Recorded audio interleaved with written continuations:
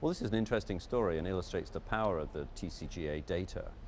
As we were looking through our own sequencing data, we noticed one or two mutations in HER2 that were occurring in cases without HER2 gene amplification. And we began to study these and found that these mutations were activating. In other words, they switched on the HER2 kinase. Well, you'd miss them by the normal testing because they don't, there isn't increased signal with immunohistochemistry and the FISH test will be negative. But the, this is a sort of cryptic activation of HER2. You have to do sequencing to find these things. And interestingly, working closely with the TCGA, I was sitting in a meeting uh, last March and they announced, uh, the analysts announced they'd found another seven HER2 mutations.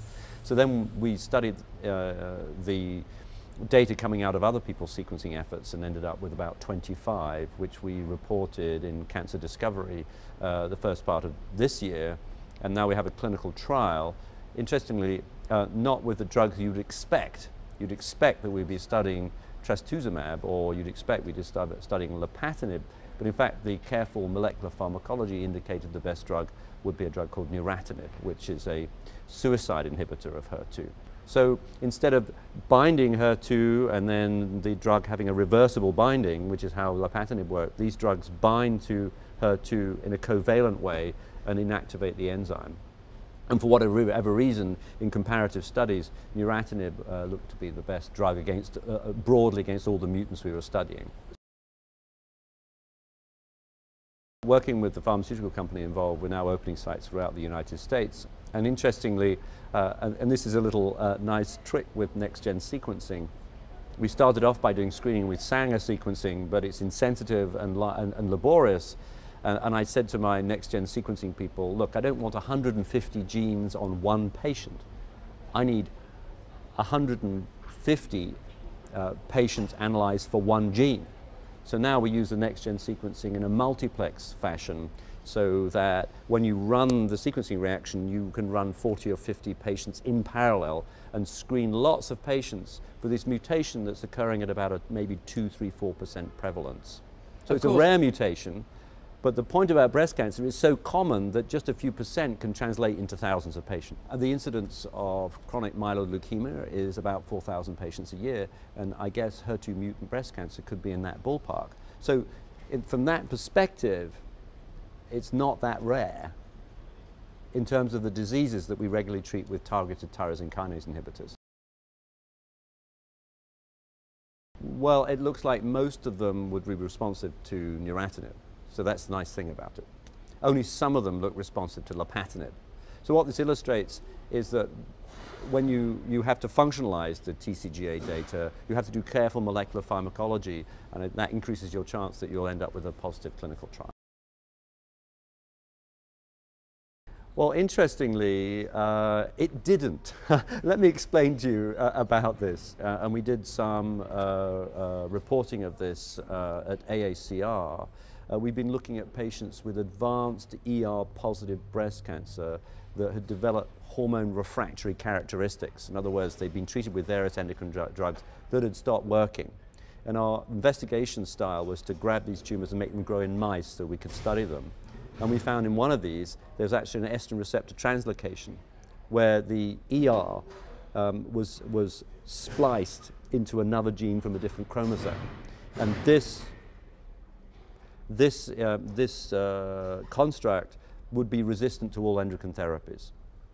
So we didn't see that kind of thing in the TCGA data. So what I'm beginning to think is that in metastatic breast cancer, ER is becoming mutant.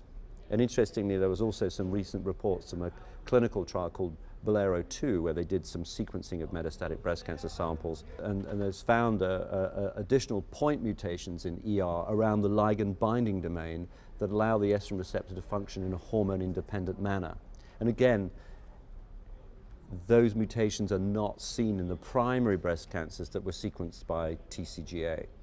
And the, so the point I want to make is we need another cancer genome atlas, not of primary breast cancers, but of resistant metastatic breast cancers, so we can understand what the genomic changes are that generate resistance.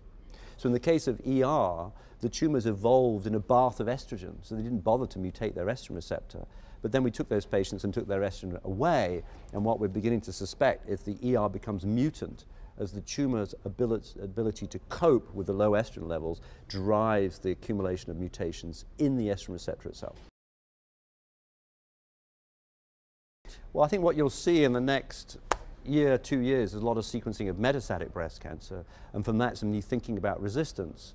And once you've understood resistance, we'll be able to develop the appropriate pharmacology to prevent it. Quite radical thought, really.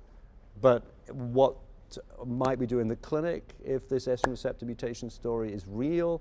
Well, interestingly, it might tell you what to do with the patient. So, for example, if this translocation mechanism is something that becomes, is clearly prevalent and worthwhile looking for, well, maybe you would look for it because no endocrine therapy would work in the presence of one of these translocated estrogen receptors.